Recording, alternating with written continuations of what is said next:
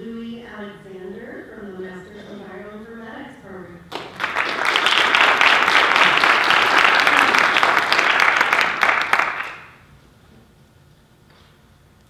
Who here is concerned about rising fuel prices?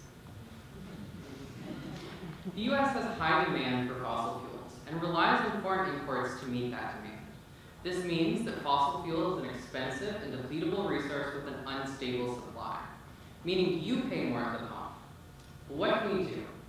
Hi, I'm Louie, and in Dr. Cooper's lab, my goal is to use genetic data to make a plant, sorghum, the next fuel source for our country. You see, sugar from crops like corn or sorghum can be processed into a fuel called biofuel. This is a domestic and renewable alternative to fossil fuels that emits fewer greenhouse gases when burned. But why sorghum? Sorghum has the main feature of a biofuel crop, which is a stalk that holds sugars, and it has several advantages. It's cheap, it's already widely grown for syrup and livestock uh, feed, and it and it um, uses less water than corn. There are two main types of sorghum, sweet sorghum and tall sorghum, relevant to biofuel. If we can, uh, sweet sorghum holds a lot of simple sugars in its stalk, and this can be easily converted into biofuel. Uh, tall sorghum is a lot larger than other sorghum types and holds complex sugar in its stalk. These complex sugars can be converted into a lot of fuel, but requires a more intensive process. If we can find a recipe to combine these sweet and tall traits, then we can have a very tall sorghum that produces a lot of sugar and makes a lot of fuel for us. My goal was to find the ingredients to this recipe by looking at the genetic differences between the sweet and tall sorghum. Specifically, I was looking for duplications, or extra DNA.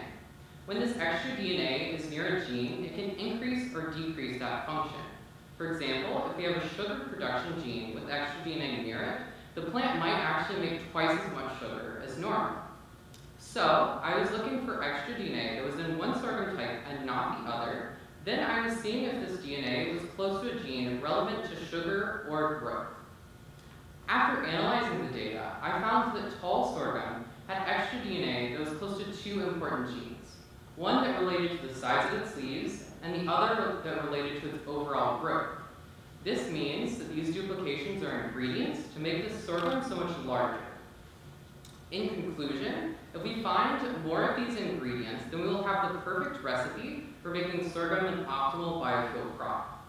This crop would use less water than other biofuel crops, produce a lot of sugar, and this could be turned into a lot of fuel for us, and this would save you money at the pump. Thank you.